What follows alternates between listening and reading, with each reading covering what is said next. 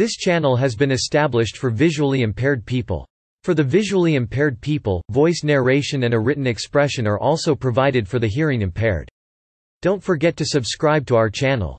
A conning tower is a raised platform on a ship or submarine, often armored, from which an officer can con the vessel, i.e., give directions to the helmsman it is usually located as high on the ship as practical, to give the conning team good visibility of the entirety of the ship itself and of ocean conditions and other vessels the verb con probably stems from the verb conduct rather than from another plausible precedent, the verb control.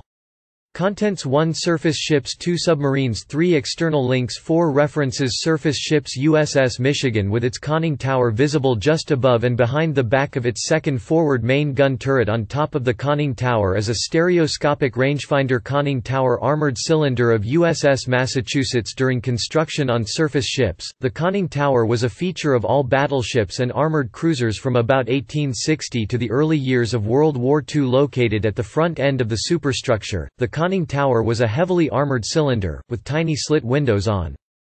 three sides providing a reasonable field of view designed to shield just enough personnel and devices for navigation during battles. Its interior was cramped and basic, with little more than engine order telegraphs, speaking tubes or telephones, and perhaps a steering wheel at all other times than during battles. The ship would be navigated from the bridge instead conning towers were used by the French on their floating batteries at the Battle of Kinburn they were then fitted to the first ironclad the French battleship. Conning towers on those ships that did have them during World War II and Captain Kerr and Admiral Holland fought the Hood, for example, from her unarmored bridge even in the USN, battleship captains and admirals preferred to use the unarmored bridge positions during combat. The United States Navy had mixed opinions of the conning tower, pointing out that its weight, high above the ship's center of gravity, did not contribute directly to fighting ability beginning in the late 1930s, as radar surpassed visual sighting as the primary method of detecting other ships, battleships began reducing or eliminating the conning tower. The Battle of Guadalcanal during World War II briefly slowed this trend, when the Japanese battleship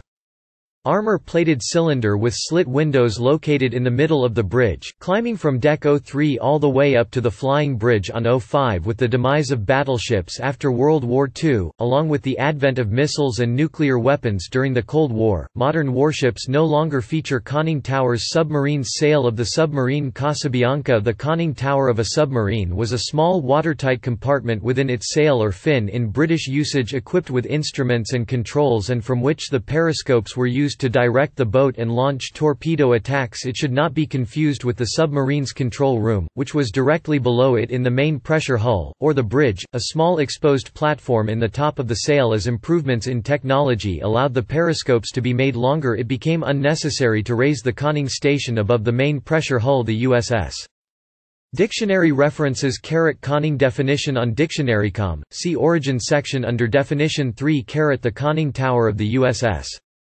Caret Morison, S.E. History of United States Naval Operations in World War II, Operations in North African Waters, Volume 2, p. 93 On November 8, 1942, USS Massachusetts came under fire while engaging Vichy French naval units and shore batteries. Throughout this action, heavy stuff was whizzing over Massachusetts and splashing in the water close aboard Admiral Giffen and Captain Whiting disdained the protection of the armor-cased conning tower, and directed the battle from the open flying bridge.